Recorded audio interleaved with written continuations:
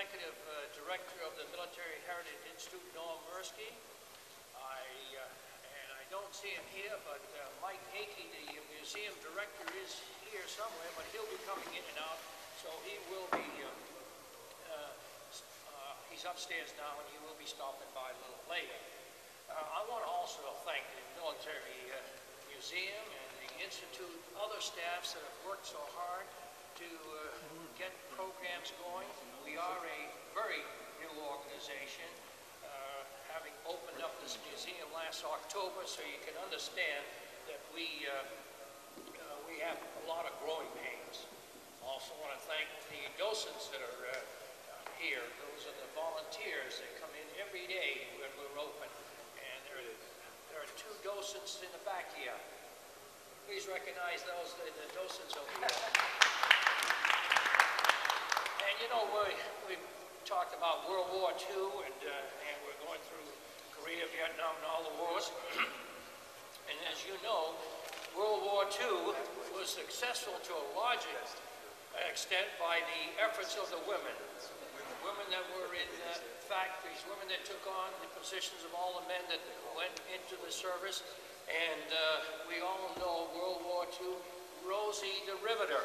Rosie the Riveter. Come on, let's Betty Willett. And she's a member of the board and a hardworking person that's been with this board for about 12 years. And believe me, she is one true uh, dedicated individual. The, uh, uh, the book signing after the forum will be over on the right-hand side over there. Unifort will be doing signing and autographing the books for you that you want to purchase. There number of books that are uh, out there. So once we have a break or after the uh, program, step over to the right over there and there will be uh, books available.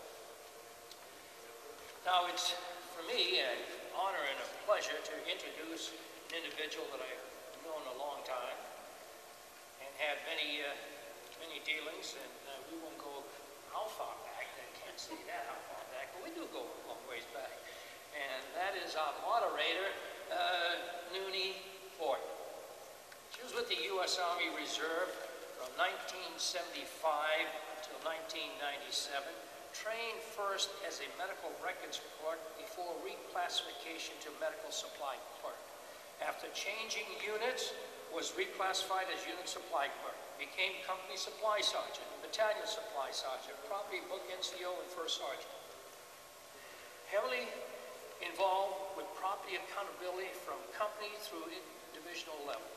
Trained personnel at all ranks. Assisted leading division property, loading division property into the first automated system in the country. Retired as a first sergeant, 22 and a half years as an E8, master sergeant. Spearheaded the successful effort to have entertainer Martha Raye Arnott has been interviewed on A&E biography, as well as many television radio programs, and had written 10 books. 10 books. I'm working on one now. She continues to try to pass along women's military and civic history to others. Belongs to the American Legion Post, number 1610 in North Albany. Also Associate Vietnam Veterans of America, Women's Army Corps Veterans Association, life member of the Tri-County Council of Vietnam era veterans, as well as belonging to several other veteran and civilian organizations. It's an honor and a pleasure to introduce my good friend, Noonie Fortin, to introduce the panel.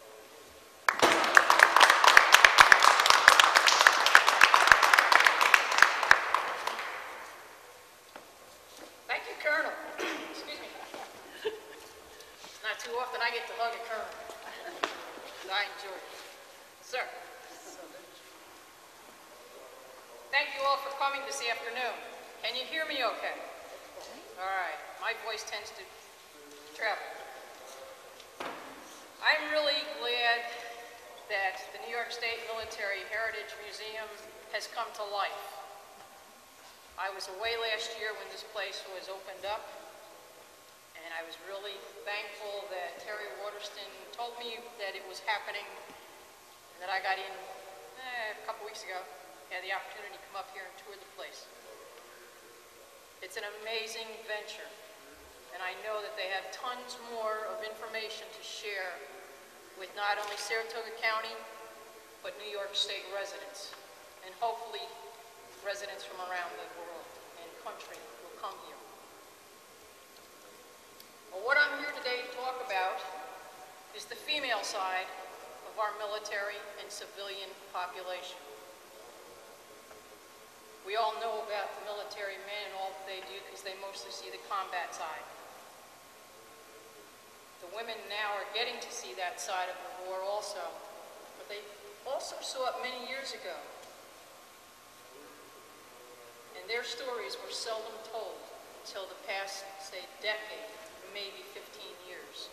And now they're finally starting to open up and really talk about it. So what we're going to do today is I'm going to introduce you to some of these ladies that are here with me. I'm going to ask them a few questions when they come up to the stand, let them tell you their side of what they accomplished in their military careers. And then we'll have a slideshow. Following that will be a book signing. So before I go any further, I'd like to introduce a couple of these people to you. Since I don't know a couple of them, I need notes. I already grabbed my notes.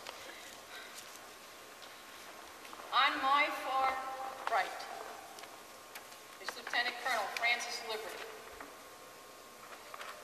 World War II, Korea, Vietnam. I met Colonel Lib, hmm, oh, back in the 80s, and we've been friends ever since. She helped me with the Medals for Maggie committee when we tried to get the Presidential Medal of Freedom for Martha Raye. And she was about the third or fourth person I called when the White House called me and said it was a done deal. So she's been in on that since the get-go. I'm really glad somebody brought her up today and surprised me. I had no idea she was coming today. Next to her, I believe, is Bernadette Jones O'Connor. She enlisted in the Women's Army Corps, 1945, trained at Fort Oglethorpe, Georgia, which, by the way, I finally got to see. Is this still there? This- The fort is still there, yes. Uh, Went to Kennedy General Hospital in Memphis, Tennessee for medical training. Worked as a surgical technician in the orthopedic ward. She was discharged October of 46 as a T5, better known as a corporal or a technical 5. She received the Good Conduct Medal and the World War II Victory Medal. And thanks to the U.S. government, she received her high school diploma in 2002. So give her a good hand for that. I think that's great. Next to me is Rose Stewart, U.S. Navy, 1953 to 64, self-taught data processing. I haven't figured that part out yet, because I don't know data processing for anything. She developed various personnel and inventory systems, received special honors for computer systems involving inventory requirement for aircraft carriers based on estimated sea schedules. That sounds interesting. She established in-house training programs with computer-related topics for the junior enlisted personnel. She taught and was a forms design specialist. I'm lucky I learned how to do a web page. So you're doing fine. I don't. She belonged to the Navy Reserve from 64 to 75 and established personnel training schedules on a Honeywell computer. I don't even remember a Honeywell computer, but I never liked computers. She worked with the Navy Air Intelligence in Maryland, reviewing air reconnaissance photos on a computer. Okay, I want to hear about that. She established personnel service and training accounting procedures for reservists at the Floyd Bennett Field Naval Air Station in New York. I hope that's near to Long Island, because I've never heard of it. It's no longer there. Okay. She retired as a da- Navy Data Processing Chief, E7, May of 1975. She's a disabled Korea and Vietnam-era veteran with 50% disability and belongs to American Legion Post 374 in Lake George. On my far left is my pal Terry Waterston. U.S. Marine Corps, 1954, clerical duties at Camp Elmore in Norfolk, good old Virginia. She also worked at the headquarters Marine Corps in Arlington, as well as at Quantico. She has held and continues to hold several positions with the American Legion Post 629 in North Creek. And yes, this is her shirt that I'm wearing, not her shirt, but her post shirt that she was good enough to provide me with. Uh, She continues to belong to the Marine Corps League, the Korean War Veterans Association, and the American Legion, as well as the Legions of Auxiliary. To my immediate left is my pal Pam Waterston, who followed in her mom's water, in her mom's boots. Pam joined the Army, of all things. Thank you very much. What? In 1989, she was trained as a heavy equipment operator. She took part in Operation Desert Shield, Desert Storm, Desert Victory. She was in Saudi Arabia and Kuwait, August 1990 to May 1991. After active duty, she joined the Army Reserve and served from 1991 to June of 2000, where she was reclassified as an engineer and instructor. She was medically discharged as a Sergeant E5 in June of 2000. She belongs to American Legion Post 629 in North Creek. She's also a life member of the VFW and the DAV. Me, I'm not important. I did my time, 22 years worth, and John pretty much gave you a rundown on what I did during that period. We are expecting another lady by the name of Patty Hawks, okay, I wasn't sure of the pronunciation. She's from Bolton Landing. Uh, She enlisted in the Navy in 1985 and is still currently serving. She's been stationed in New Orleans, Groton, Connecticut, Newport, Rhode Island, Portsmouth, Virginia, and Bethesda, Maryland.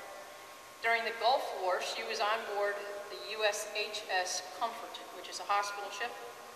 Presently, she is the ombudsman, I hate Navy terms, at the Glens Falls Naval Reserve Center.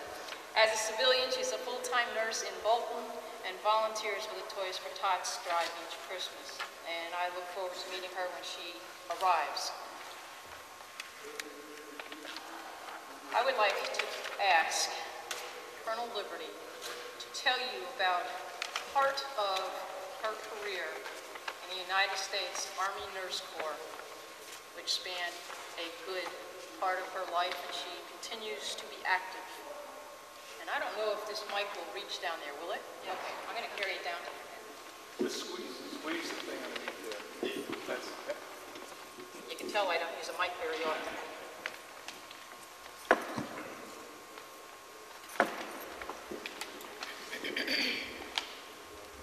Now, before we get started, I'm going to ask a couple questions, Okay, and then you can answer. How's that? all right. Where were you born? Plattsburgh, New York. And where did you live prior to going in the military? I was in Mechanicville, Waterville Age. Went back to Plattsburgh to take my nursing school, and I joined Waterville Age. I joined the military. I thought so. I just wanted to make sure I remembered right.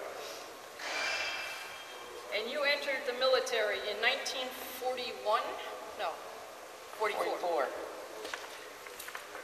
And one story I remember Colonel Lib telling me about, because she likes to tell stories, was borrowing a bus and driving around Europe, No, that was Japan. Japan, one of those countries. Out of the officers club. And the hospital was located about five miles away. So you had to take a bus to get there because they, we weren't allowed private vehicles. So the bus that transported us was sitting in front of the officers club and the driver was gone. And there were a couple of other nurses and a couple of doctors on the bus. And I got on the bus and they said, hey, Leb, we bet you can't drive this thing. I said, I bet I can. I backed it up and drove it back to the hospital. Went through the gate, nobody said a word. Parked it in front of the nurses' quarters, went in and went to bed. In the morning, I woke up and went outside my room. There's assistant chief nurse out there, and she says to me, oh my God, you're in trouble. I said, why? She said, you stole a bus. I said, I did. She said, yes. She said, it's right out there in front. So I looked out the window and I said, sure enough. So I got dressed and went over to see the chief nurse. She said to me, why did you do that? I said, it seemed like a good thing to do at the time. I said, we were tired, we wanted to go home, the bus driver wasn't there. He said, we didn't have any accidents and let me in at the gate. She said, well, the transportation officer is furious. So I thought to myself, well, let him be, you know, I, so pretty soon he comes along, I went up to work. He comes along and he starts yelling and ranting up and down the ward and howling and yelling. And the chief nurse on the ward, I can see her now, her name is Maggie Lappin. She's a little tiny blonde.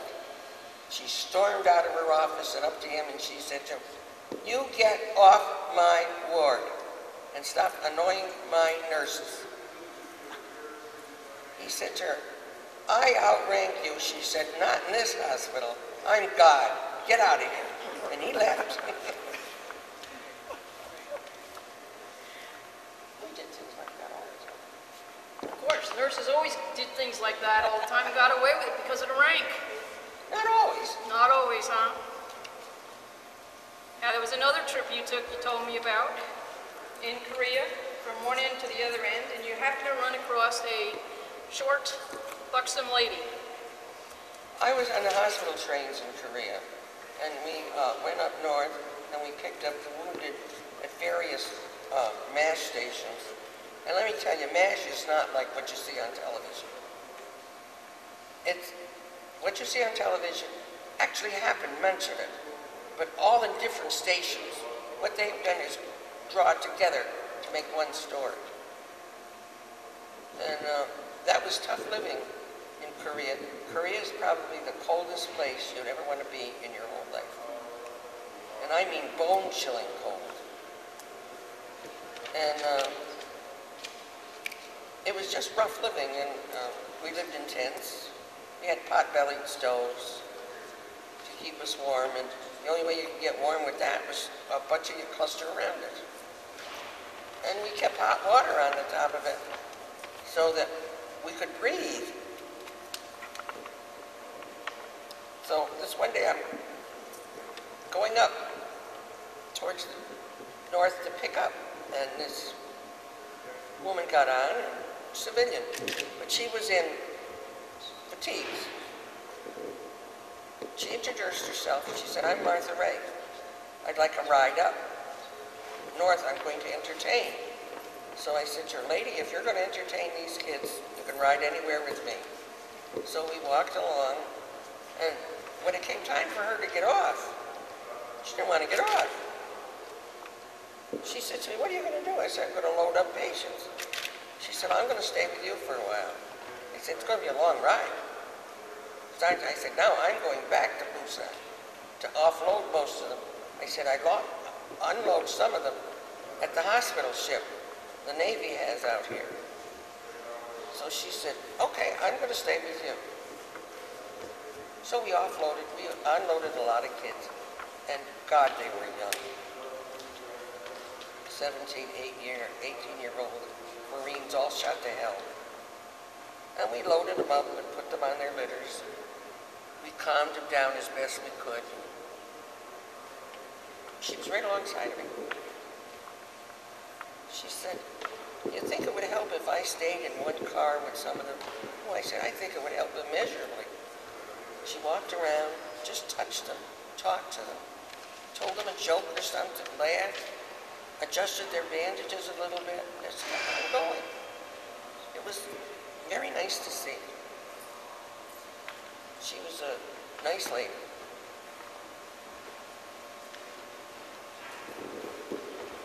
Do you come from a patriotic family? Yes, I have two brothers. One brother in the Air Force in World War II, and a younger brother who was a command sergeant major who died on active duty Fort Sill, Oklahoma, about 17 years ago. He was our baby. I had him as a patient one time. He uh, was coming down north and they loaded patients on. And some of them I didn't see, so I always made rounds to make sure I had all of them. And I knew them, what their injuries were in case I needed to do something. So I got right by this one bed, and I went to turn this kid over, and the sergeant was standing there, and he said, ma'am, just leave him alone, I'll take care of him. I said, what do you mean? Look at all the wounds. He said, just leave this guy alone. We'll make sure it's all right. I turned him over. It was my kid brother. I looked down at him and I said, oh my God. He said, what are you doing in a dirty place like this? I said, what are you doing here? He looked up at me and he said, now my name is Francis, but you know all families have nicknames. He said, Frankie, I'm not going to die, am I? I said, God, no, George would kill me. he made it, as you can see. And if I remember correctly, you kicked him out of Vietnam Yes, I did. because you outranked him. I was sitting in a officer's motel, hotel overlooking the street, there were four or five of us girls sitting there. I looked out, and I, this one girl says to me, you know, Liv, if I didn't know better and they didn't know two people in country from the same family, I would say that was your brother. She said, he's got bow legs just like him. So I looked out, he's coming up the street with two officers, and they're walking along chatting, and I said, oh my God, that is him. So we ran, I ran down to the street, and we kissed and hugged, you know. One of the officers said to him, what are you doing kissing an officer? And he said, she's my sister. He looked at me and he said, right? And I said, right. He said, you have to leave country. We need him here. And my commanding officer said, no, he has to leave country. We really need her here to set up these MASH units up north. Bye, Sarge. He would call me no matter where I was. I never figured out how he did it. And laugh at me. Because I was over there. And I'd say to him, how the hell do you do this? You know they're shooting at me. Tough duck. So, and another thing about him, if I was anywhere here in the States and I was teaching a class or something, and he was anywhere near or on the post, he would run to the front door where I was getting out. So I'd, he'd have to, I'd have to salute him, and he'd laugh at me because he said medical people didn't know how to salute. One last question. Can you tell the people what awards you received for your time in service?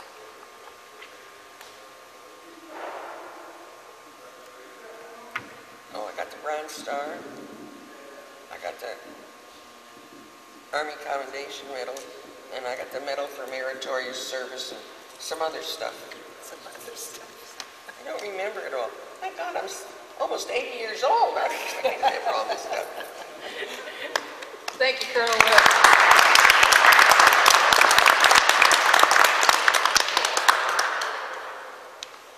Yes, I met Colonel Lib back in the 80s. And it wasn't until I happened to go visit her at home, her home, that I found out that she had the Bronze Star, because she sure never told me about it. So I'm really glad I've gotten to know her a little bit more. I don't understand this medal business. I did it, I had a job to do, and I did it.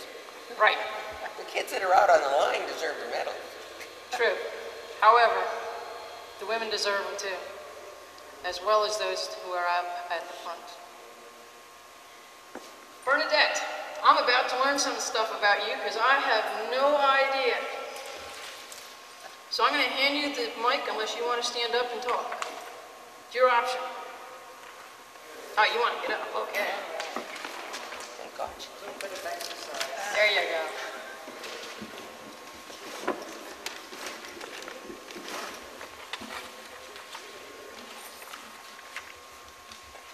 Well, you already know when I went into service that our training we received, we, it was six weeks and that covered the entire training that a nurse would get. It took, how long does it take a nurse for training?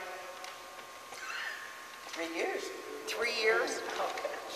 We were given, of course, it was just the highlights, but we were able to do everything on a ward that a nurse could do except for handling narcotics. Could make a bed, a And bed. here I'll insert a little thing that I did, along with a couple of others. A patient of mine was in a private room. He was in traction with weights, and that was attached to a Balkan frame. If you don't know what a Balkan frame is, it's all this paraphernalia up there that they can attach the pulleys to. Okay, so he decided he'd like to have a party. And a single bed. So we contacted the charge nurse. And I'll never forget her. She was one of the most wonderful pe- persons that I've ever met. Her name was Helen Basil. We asked her if we could have a party. And she said, well, if you keep it, keep it quiet. So we went to town with our little shoebox that was empty and brought back our liquor. The MPs didn't check those boxes because we took our shoes into town to be repaired. And the women got away with more bringing liquor in the post than the men did. So anyway, we had our party and I had to leave the room for purposes. And when I came back, the patient was gone. Here, now he's tied up to traction. We couldn't find, I didn't see him at first. He sat on top of the Balkan frame and he was crowing like a rooster. Well, Helen came in and that was the end of our party. She says, that's it. That was uh, one of the funny things that happened. Another one, when I was working on the paraplegic ward, we had this, he could have been a football player. He was a big black man. He had both legs amputated, and he was paralyzed from the waist to the stumps of these legs. He was the cheerfulest person I have ever seen. You'd go in there, maybe you didn't get a letter from home for a couple of days, and he would make you laugh. Always had a smile on his uh, face. And to think of him, and to think of the problems that he had ahead of him, it, it just made you feel very small. I uh, received the World War II Victory Medal and the Good Conduct Medal. I had six brothers that served in the, uh, their country. One was in the Marines, one in the Navy, and the rest of them were in the Army. So we really outdid the, the other two. But the brother in the Navy had a very exceptional career. He served in both World War II and the Korean War, and he has enough uh, fruit salad that uh, people wonder how we got him all, but he earned them. We went to Antarctica with Admiral Byrd, and we nearly lost him. but We never knew about it until he came home. Several years later, he told us that his ship almost capsized. Uh, let's see. I belong to the American Legion in Hudson Falls, and I've been a member for 25 years. I was Legionnaire of the Year, 1990, 91. And then also, I became Legionnaire of the Year in 1998. That was something that was very different from anybody else in our post. Nobody else has ever had that distinction. I was County Legionnaire of the Year in 1998. And I think that's about it. That's a lot. practical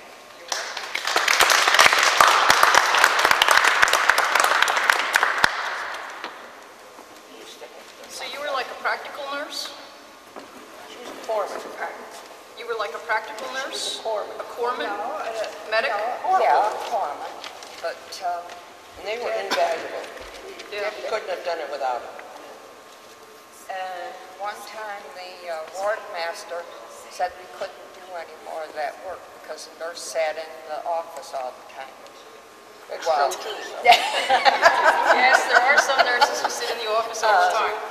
Well, anyway, it, uh, it didn't help the patients. No, and he must have been mad at her for some reason. Yeah, he was. And the one, we had one charge nurse that had served overseas.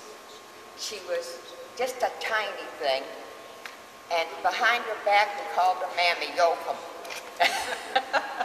But it wasn't beyond her to pick up a, a cloth and wash down a bed. No, And you know, and she was just a, a wonderful person. to have all the beds cleaned before everybody else came in again. But we used to have to lock up the aqua velva on the fellows in the orthopedic wards Oh, yeah. because they would drink it.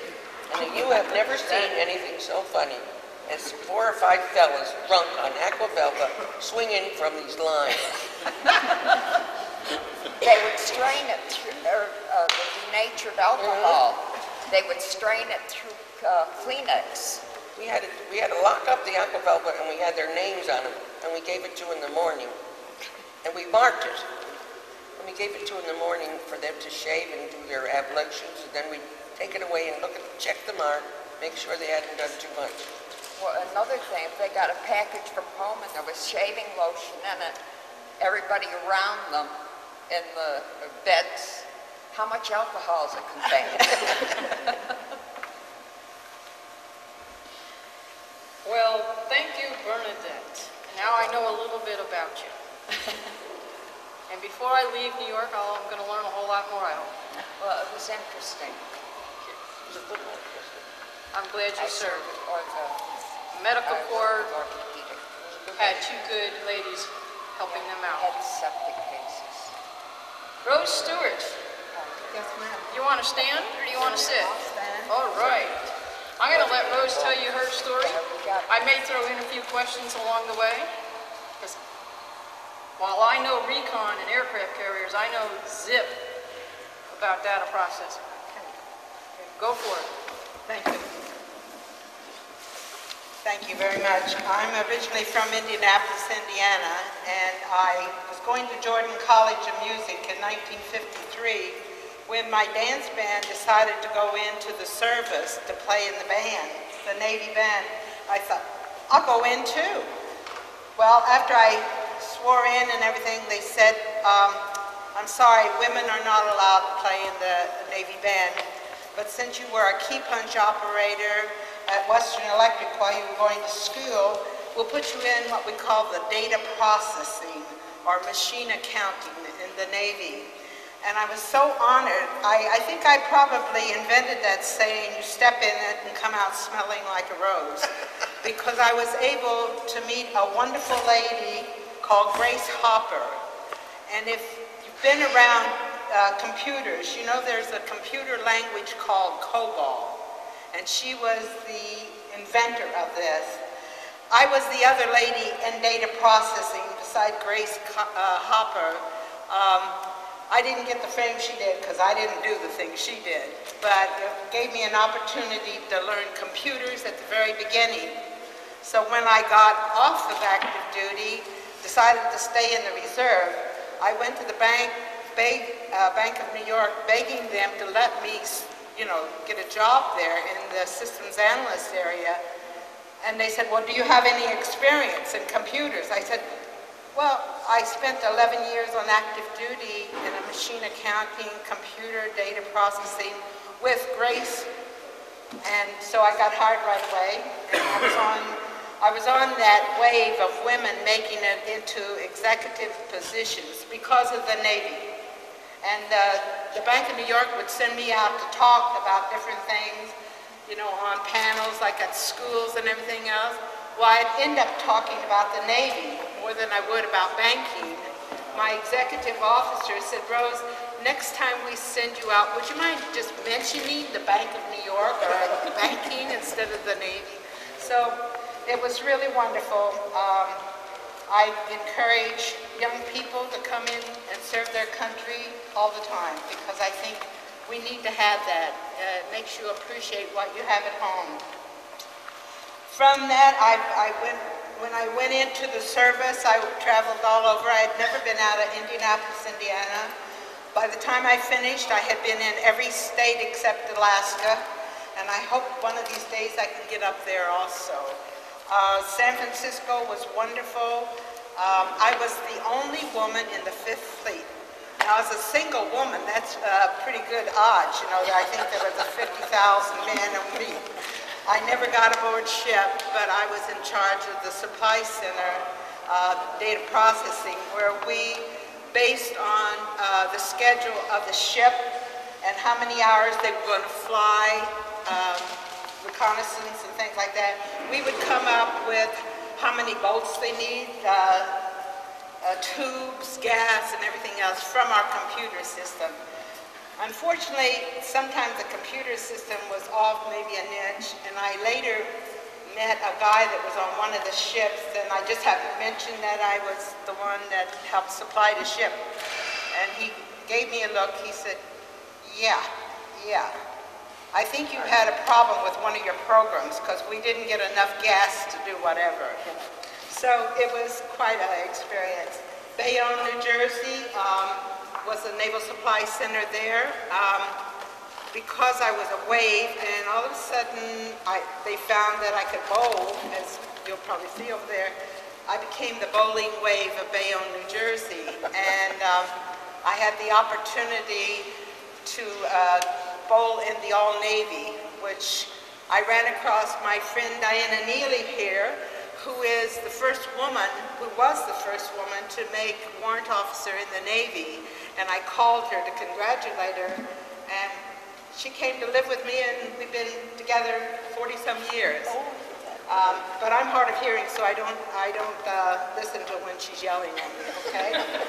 um, other than that, in the reserves, it was a wonderful thing. I again got to go on a lot of uh, trips because we were the naval, um, Floyd Bennett Field was an air station, and the admiral there would be invited to go down to New Orleans, you know, to inspect on their annual inspection, and I got to go along too, and that was kind of neat. They'd roll out the red carpet, and I'd go marching down that. That was terrific.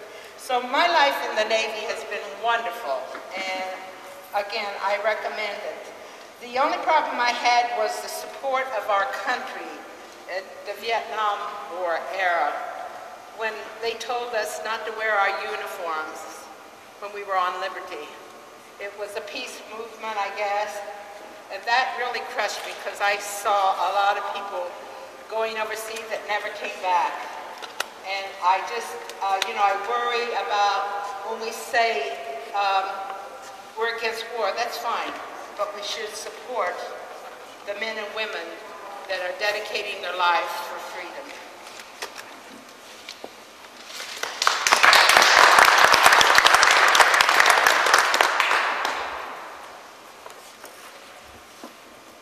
Uh-oh. I'm in big trouble. I want to know how you get a picture of a recon area into a computer. They scanned a picture when they took it originally, and then when they went back, they scanned it again, and they overlaid it on there, and you could see changes within the picture itself. They could show they were developing, you know, whatever it was. That's the Naval Air Intelligence in Suitland, Maryland. Where, Maryland? Suitland, Maryland? Suitland. Is that near DC? Yes. I probably drove through it, don't Yeah. remember. That's interesting. I, I've seen them on the ships where they lay out the pictures of things, but I've never seen it on the computer itself. Yeah, So it's like, okay, somehow they do it. yeah. Good. You and I are going to talk more. All right. I can tell. Great. I've been around this area for a while. As John said, I am a native New Yorker. I was born in Schaghticoke, raised in Lansingburgh, lived in Cohoes, Saratoga, Albany, Colonie, a few other places. But in, let's see, 1991, no, 92, I happened to be up in Glens Falls and met Thelma, Terry Waterston. And she and I have become close friends ever since. Even though I tease her because she was a Marine, uh, we don't like to go there. Well, one of the things I'm going to ask her is how they taught them how to put on their makeup. Because she and her daughter had two entirely different types of training when she went through basic training. And I know it was nothing like what I went through in basic training either. We were Army. Hoo-ah. Simplify. So I'm going to ask Terry to come up and tell you a little bit about herself and pass along her military history. And I hope she talks on the military side and not so much of what she does now as a civilian. 'Cause It's hard to get her to talk about the military side of her life. Terry Waterston. Thank you, Noonie. Uh, I graduated from high school in 1954.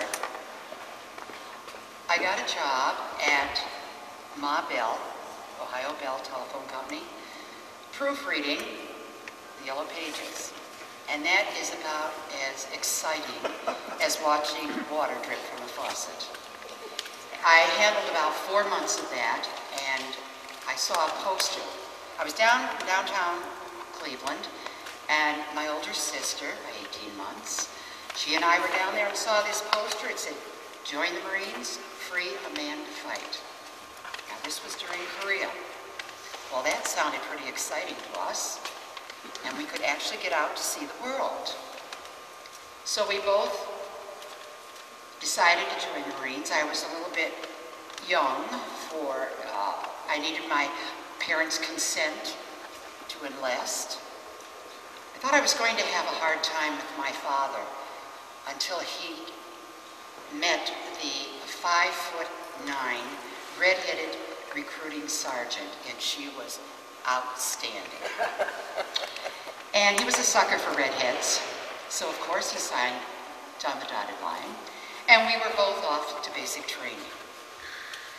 Now, I did calisthenics in high school, and I was active in sports, and I thought, well, I could handle the Marine Corps. Well, it certainly wasn't high school. But Noonie and my daughter tease me now. We did calisthenics in our little brown peanut suits, and we ran the obstacle course, but we were not able to weapons qualify like they did now. We went to the rifle range, and they detonated simulated atomic bomb blasts, etc. But we sat on the bleachers. We did go through the gas chamber, which everybody is quite familiar with. And we also had lessons in how to walk and how to properly behave as ladies and present ourselves to the public as Lady Marines. And we also learned how to take care of our hair and our makeup, which my daughter teases me about to this day. But we, that was what we were trained for. Our, we, we, the majority of us went into a office position.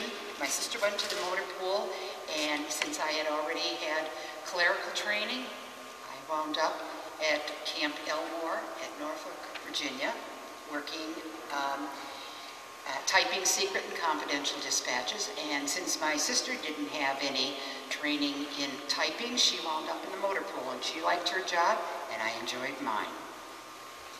Uh, I was transferred from there to headquarters Marine Corps and worked at the Naval Gun Factory at the Marine Corps Institute, enrolling in students.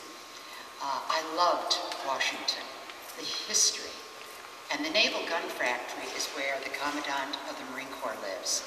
So every, we would be bused to noon chow to the old barracks and have a family-style lunch And I, I remember walking under the porticos to go into the chow hall. And the stairs leading into the, that, that building was stone. And from thousands of people going up these two stairs, there was an actual groove from their feet shuffling those two stairs to go into the building. I met my first husband there. He was a career Marine.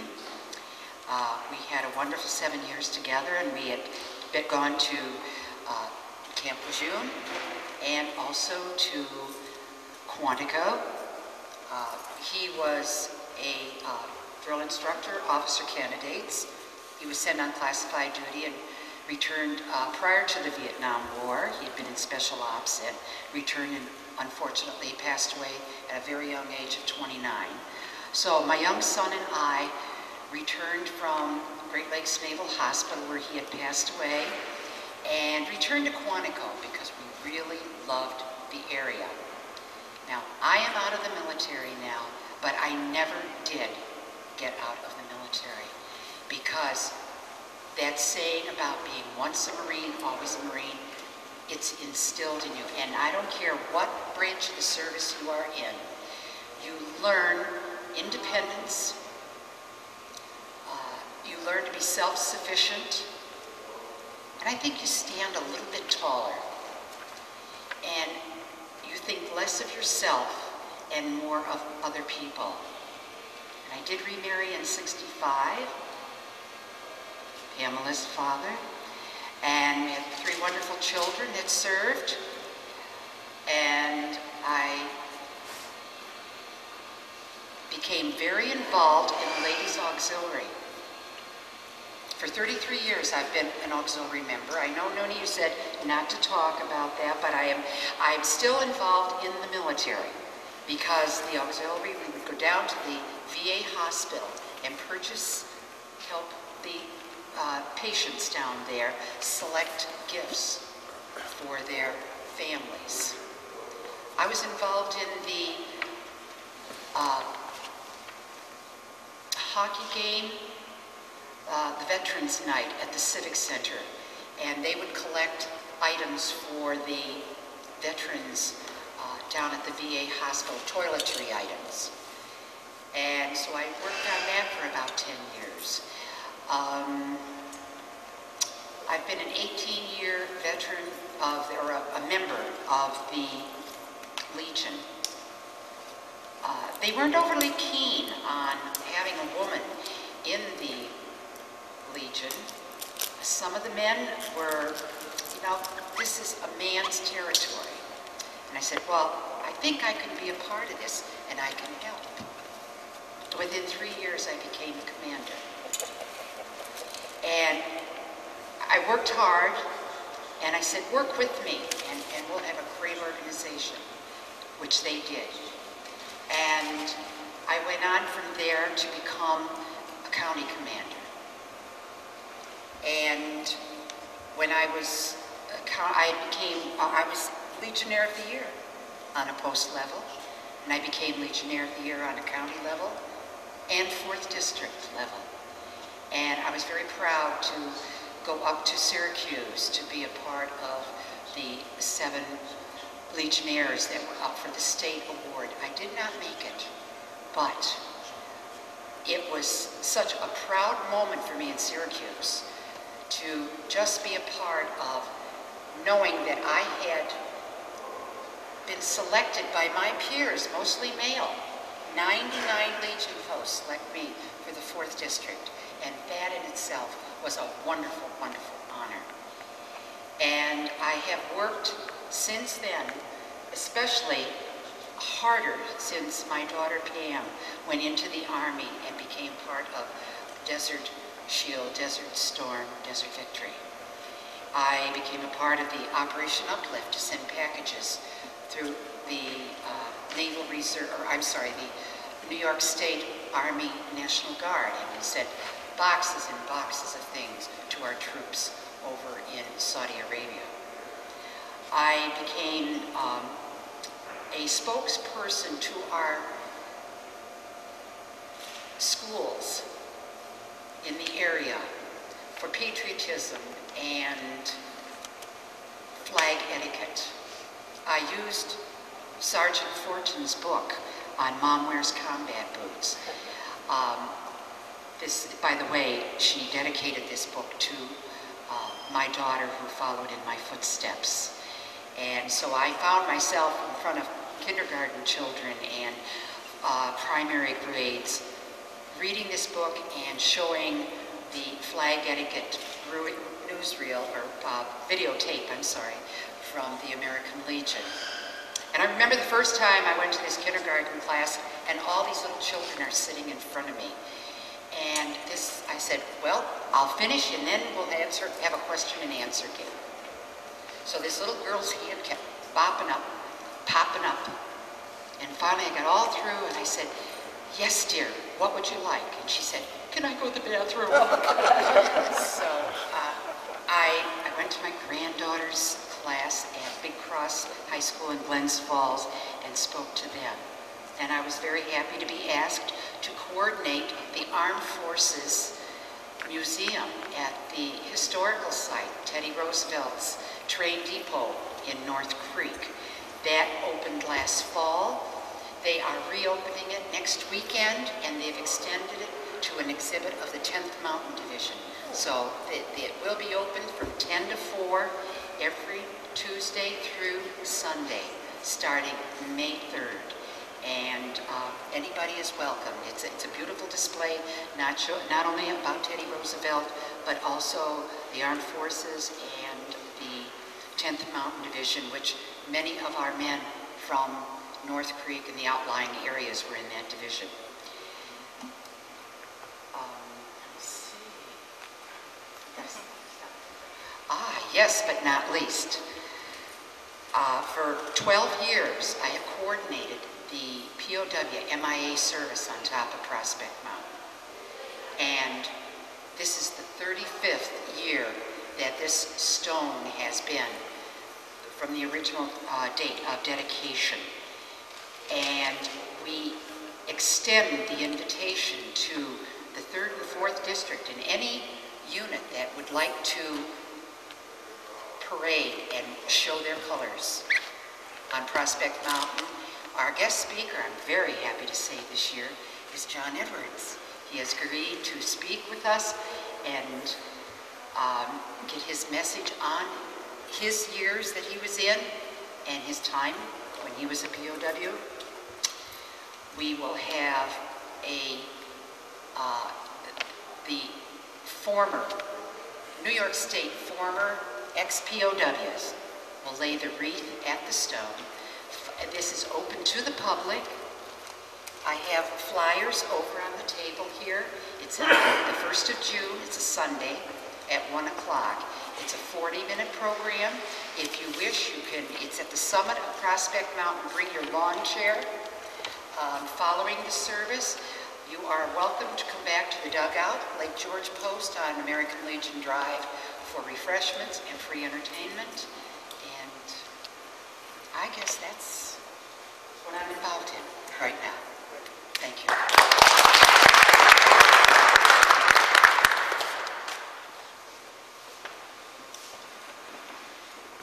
Thank you, Terry. And yes, by all means, Prospect Mountain, what's the date again? The 1st of June. 1st of June. Come on up. Let us remember those who